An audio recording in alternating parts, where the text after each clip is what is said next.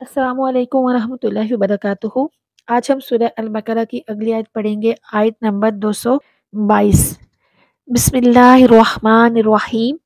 व यसअलूनका और वो सवाल करते हैं आप सल्लल्लाहु अलैहि से अनिल महीद हैज़ के बारे में।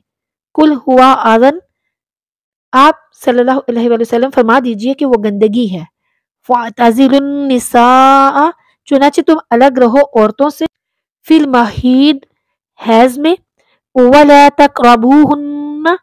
और ना तुम करीब जाओ उनके हत्ता यहाँ तक कि वो पाक हो जाए फ़इज़ा ततहरना फिर जब वो गुसल कर ले फ़तूहुन्ना तो तुम आओ उनके पास मिन हैसु जहाँ से अमरकुमुल्लाह हुक्म दिया है तुम्हें अल्लाह ताला ने इन्नल्लाह वाकई ही अल्लाह ताला युहिब्बुत तवाबीना मोहब्बत करता है बहुत तोबा करने वालों से।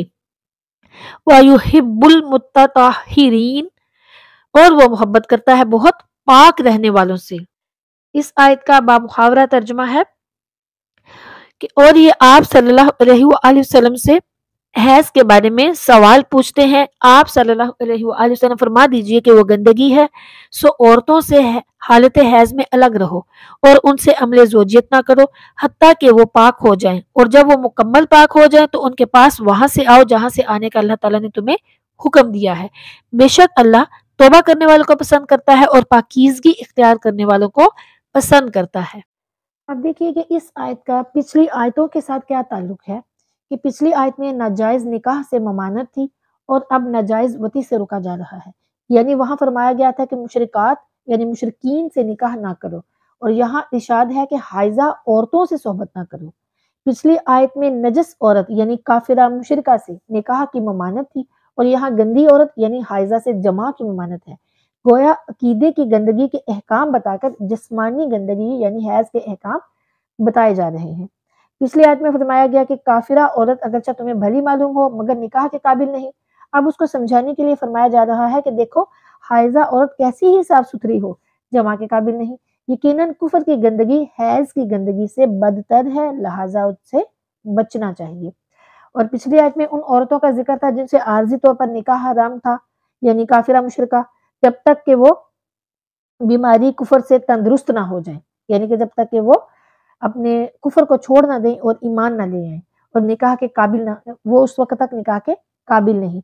अब उन औरतों का ज़िक्र किया जा रहा है जिनसे आर्जी तौर पर सोहबत करना हराम है, यानी कि हाइजा, कि जब तक वो आर्जा हैज़ से पाक ना हो जाए, उनसे सोहबत करना हराम है। अब ये देख लीजिए, इस आयत में हम हैज़ नफास के बहुत यानी तमाम अहकाम ज़िक्र करेंगे। मुकम्मल तफसील आपके साथ शेयर करूँगी, सारा मुकम्मल डिटेल बताऊँगी। हैज़ और नफास के अहकाम और मसाइल वगैरह तो ये बहुत ही आप लोगों के लिए बहुत अच्छा लेक्चर होने वाला है। क्योंकि बहुत से सवाल बार बार पूछते हैं, कभी हैज़ के बारे में, कभी नफास के बारे में तो वो सारी बातें इंशाल्लाह इसमें डिस्कस हो जाएँगी और अच्छी तरह से सुनिएगा, सुन के उस पर अमल भी कीजिएगा और दूसरों तक भी पहुँचाइएगा। अब चलते हैं अपनी आयत की तफसीर की तरफ़। इस आयत का शान नजूल क्या है? इस आयत का शान नजूल यह है कि अरब के यहूदी और मजूस हाइजा औरतों से नफरत करते थे। कि उनके साथ खाना, पीना, एक मकान में रहना गवारा नहीं करते थे। यहाँ तक कि उनकी तरफ़ देखना और उनसे कलाम करना भी हराम जानते थे। मगर वहाँ के ईसाई हाइजा औरतों से सोहबत भी करते थे और मुशरकिन अरब यहूदियों की चाल चलते थे। एक मरतबा हज़रत साबित इबन वहदा और दीगर सहाबा कराम रदवानजमाइन ने हजूर नबी करीम सल्लल्लाहु अलैहि वसल्लम से हैज़ के अहकाम पूछे। तब ये आयत करीमा नाजिल हुई जिसमें मुसलमानों को यहूदियों की इफराद और ईसाइयों की तफरीद से मना करके दरमियानी रास्ता बताया गया, सूरत रास्ता बताया गया कि तुम हैज़ के ज़माने में जमाना करो। इसके सिवा सारे बर्तावे बरतो।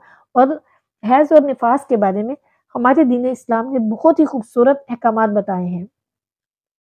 खुलासा तफसीर यह है कि अल्लाह ताला फरमा रहा है ए मेरे प्यारे नबी सल्लल्लाहु अलैहि वसल्लम, लोग आपसे हैज़ के अहकाम पूछते हैं कि आया हाइजा औरत से यहूदियों की तरह बिल्कुल दूर रहें या फिर ईसाइयों की तरह उनसे जमा भी कर लिया करें? तो ए मेरे प्यारे नबी सल्लल्लाहु अलैहि वसल्लम, आप फरमा दीजिए कि वो औरतें हकीकतन गंदी नहीं हैं ताकि उनको दूर कर दिया जाए, बल्कि हैज़ गंदगी या घनूनी या बीमारियाँ पैदा करने वाली चीज़ है कि उससे मर्द को आतशिक वगैरह पैदा हो जाने का अंदेशा है। और अगर उस सोहबत से हमल कायम हो जाए तो मुमकिन है कि बच्चा कोड़ी पैदा हो। तो हदीस मुबारक में है कि हैज़ की औलाद को जजाम हो जाता है और खून खुलकर ना आने की वजह से औरत को भी तकलीफ़ भर जाती है। लिहाजा हैज़ के दिनों में औरतों से अलग रहो और जब तक कि वो पाक ना हो जाए, सोहबत ना करो। फिर जब उनका हैज़ बंद हो जाए और वो पाक हो जाए तो फिर तुम वहाँ से जमा करो, जहाँ से अल्लाह ताला ने तुम्हें इजाज़त दी है। और जो लोग फरमाया जा रहा है कि जो लोग नादानी से, हाइजा से जमा कर चुके हैं तो फिर वो खूब अल्लाह ताला से तोबा करें क्योंकि अल्लाह ताला तोबा करने वालों को दोस्त रखता है। और आइंदा काफिरा और हाइजा हर किस्म की औरत से दूर रहें। अल्लाह ताला खूब साफ़ सुथरों को पसंद फरमाता है। जिसे मुबारक में है कि जो कोई हाइजा औरत से सोहबत कर बैठे तो वो कुछ सदका करे। अगर शुरू हैज़ में जबकि ब्लड रेड कलर का था तो जमा किया तो एक दिनार यानी ढाई रुपए खैरात करे और अगर आखिर में, जबकि हैज़ का ब्लड पीला आता है, जमा किया तो आधा दिनार यानी सवा रुपए खैरात करे। अब यहाँ एक ये भी बात समझ लीजिए कि चंद ऐसे अवारिज हैं कि जिनकी वजह से औरत से निकाह हराम हो जाता है। कैसे? नस्ब की वजह से। ससुराली रिश्ते, रदात, इख्तलाफ जैन फिर कुफर वल इस्लाम और ताल्लुक हक। गैर, जैसे कि दूसरे की मनकूहा या मोतदा होना और हुरा की मौजूदगी, निकाह में अपनी ममलूका होना वगैरह। और चंद वो वजह हैं जिनकी वजह से अपनी बीवी से सोबत हराम हो जाती है, जैसे हैज़ और निफास और रोज़ा और एहराम वगैरह, यानी हज के दिनों में जो एहराम बांधते हैं। तब। उनमें से हर एक के मतहत हज़ार हा मसाइल हैं। तो इस आयत में वो वजह बयान हुई जिससे अपनी बीवी से सोहबत हराम है। तो ये वज़ू तो अमूमी हरमत की थी। एक खसूसी वजह हजूर नबी करीम वसल्लम की नाराज़गी है। अगर किसी निकाह से हजूर नबी करीम वसल्लम नाराज़ हैं तो वो निकाह हराम है। अगर किसी से अपनी बीवी के साथ सोहबत से नाराज़ है तो वो सोहबत हराम है। जैसे देखें, हज़रत अली रदी अनहु के लिए सईदा कायनात फातमा तो जहरा सलाम की मौजूदगी में किसी और से निकाह करना हराम था। क्यों? क्योंकि नबी करीम वसल्लम के लिए एजा का सबब था। और हज़रत काब इब्ने मालिक रदी पर जमाना बायकॉट में उनकी बीवी हराम हो गई। क्यों? सिर्फ़ नबी करीम वसल्लम की नाराजी के बायस। तो ये नबी करीम वसल्लम की सल्तनत मुतलिका और इख्तियार खुदादाद है। चलिए, अब हम पढ़ते हैं हैज़ और निफास के बारे में, कि हैज़ क्या है और निफास क्या है।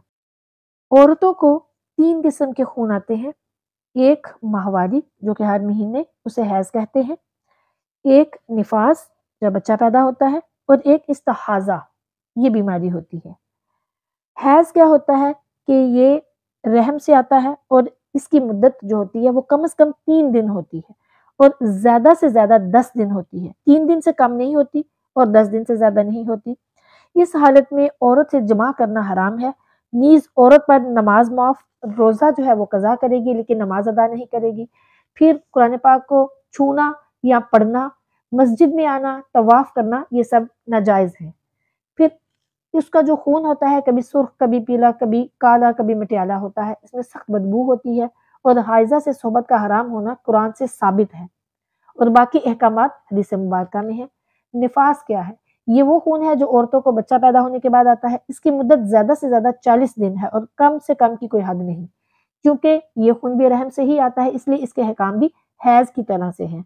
और बाज औरतें बच्चा पैदा होने के बाद चालीस दिन नमाज़ नहीं पढ़ती। ख्वा खून आए या ना आए तो वो सख्त गलती करती हैं। अब इसके अहकाम में ये समझ लीजिए कि निफास का जो खून है वो चालीस दिन से कम भी हो सकता है। लिहाजा अगर किसी औरत को चालीस दिन पूरे होने से पहले खून आना बंद हो जाए तो उसकी तीन सूरतें हो सकती हैं। पहली सूरत, अगर वो औरत वो आतदा हो, यानी उससे पहले भी उसको निफास आया हो और उसके निफास की आदत मालूम हो और निफास का खून उसकी आदत की मुद्दत मुकम्मल होने से पहले ही बंद हो जाए तो उसका हुक्म यह है कि फ़िलहाल इस औरत का अपने शोहर से इस दवाजी ताल्लुक कायम करना जायज़ नहीं।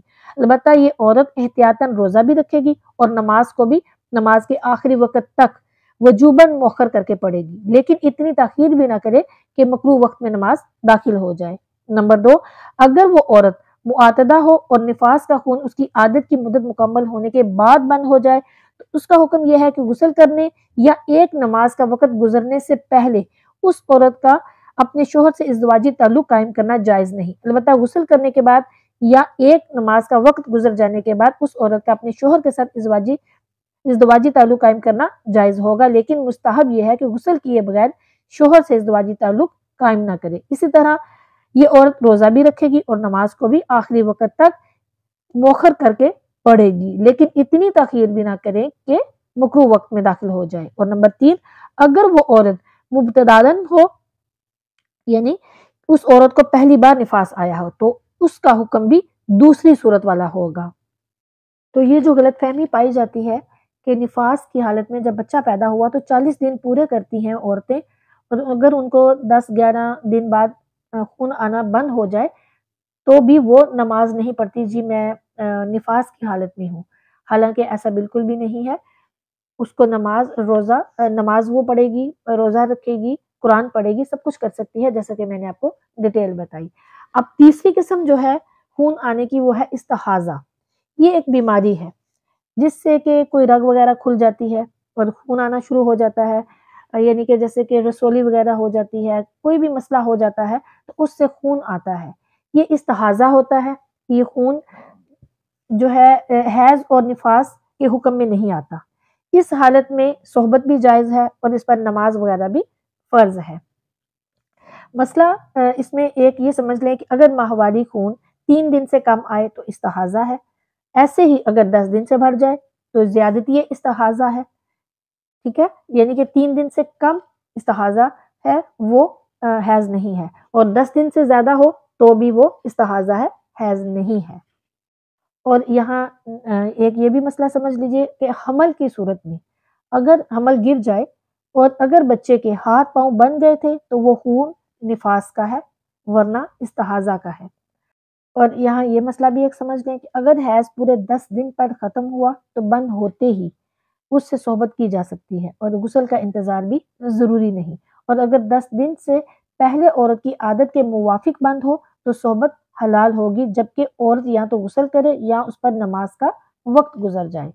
और फिर अगर गलबा शहवत से फ़र्ज़ करें, हालत हैज़ में सोहबत कर बैठे तो फिर खूब तोबा करना वाजिब है और बेहतर है कि कुछ खैरात भी कर दें। ये भी मसला समझ लें कि बहालत हैज़ औरत हराम नहीं है, बल्कि उससे सोहबत करना हराम है। और हैज़ और निफास की हालत में ऐसी चीज़ें जो कि औरत पर हराम हो जाती हैं, वो क्या है? नमाज़ पढ़ना उस पर हराम हो जाता है और नमाज़ की कज़ा भी वाजिब नहीं है। रोज़ा रखना हराम हो जाता है, लेकिन रोज़े की कज़ा दी जाएगी। तिलावत कुरान नहीं कर सकती। कुरान मजीद को बराह रास्त नहीं छू सकते। मस्जिद में नहीं जा सकते। तवाफ नहीं किया जा सकता। लेकिन इसके अलावा ज़िक्र किए जा सकते हैं। यानी कलमा तय्यबा पढ़ा जा सकता है। सुबह अल्लाह पढ़ा जा सकता है। अल्हम्दुलिल्लाह पढ़ा जा सकता है। इस तरह दुरुद पाक पढ़ा जा सकता है। छोटी छोटी दुआएँ पढ़ी जा सकती हैं कुरान मजीद की। कुरान मजीद में जो दुआएँ हैं, उनको दुआ की नीयत से पढ़ा जा सकता है और अल्लाह ताला की शान की आयात, जैसे कि आयतल कुर्सी है, उसको भी पढ़ा जा सकता है और हज में तवाफ नहीं करेगी, लेकिन बाकी अरकान हज किए जा सकते हैं। और अगर कोई टीचर है और तिलावत कुरान में उसके लिए ये आसानी है कि उसने पढ़ाना हो बच्चों को तो फिर वो लफ्ज़ तोड़ तोड़ कर पढ़ा सकती है और पढ़ने वाला जो है, वो भी रुक रुक के पढ़ सकता है। ये वो तमाम अहकाम जो कि हमारे लिए सीखने बहुत ज़रूरी हैं। उम्मीद है कि आपको सारी डिटेल में मैंने आपको जो समझाया, आपको समझ आ गई होगी। और आप इसको अप्लाई भी कीजिएगा और दूसरों तो दूसरों तक भी ज़रूर पहुँचाइएगा। अब सूफिया कराम ने इस आयत की तफसीर में क्या फरमाया? फरमाते हैं कि जैसे औरतों के हालात मुख्तलिफ़ हैं कि कभी उन्हें जहरी हैज़ आता है और कभी पाक और साफ़ रहती हैं और हालात के मुताबिक उनके अहकाम भी जुदा गना है ऐसे ही नफ्स इंसानी के मुख्तलिफ़ हालात हैं। यानी जो हमारा नफ्स है, उसके मुख्तलिफ़ हालात हैं। कभी उस पर हिर्स, हसद, हवस और दुनियावी शहवतों का गलबा होता है। तो सूफी अकरम फरमाते हैं कि ये जो नफ्स इंसानी के ये हालात हैं कि कभी उस पर हिर्स, हसद और हवस और दुनियावी शहवतों का गलबा हो तो ये गोया नफ्स का बातनी हैज़ है। और कभी नफ्स मतवजा होता है तो ये उसकी तहारत का वक्त है। कि जैसे औरत बहालत हैज़ नमाज़ और रोज़ा और मस्जिद में हाजिर होने से महरूम है, ऐसे ही नफ्स इन हालात से कुर्ब इलाही और तरक्की दर्जात से महरूम होता है। किन हालात से? कि जब वो हिरस में मुबतला हो जाए, दुनिया की हिरस में, हसद में, हवस में, दुनियावी शहवतों में मुबतला हो जाए तो फिर उस पर कुर्ब इलाही से वो महरूम हो जाता है। जैसे कि हालत हैज़ में औरत से सोबत करना हराम है, ऐसे ही इस हालत में रूह का नफ्स से इख्तलात नाजायज़ जब तक कि कलब इसकी असलाह ना कर दे। सूफिया कराम फरमाते हैं कि हैज़ में खून बहता है और इस हालत में नफ्स से हिर्स और हवा बहती है। इस हवा के गलबे से सफ़ाई मकदत होकर अजन यानी गंदगी गालिब आ जाती है। इसलिए कहा गया कि कतरा हवा बहरे सफ़ा को गदला कर देता है, कर देता है और इस, उस वक्त नफ्स हकीकी रोज़ा और नमाज़ से महरूम होता है। यानी जो नफ्स है, वह रोज़ा और नमाज़ से महरूम होता है।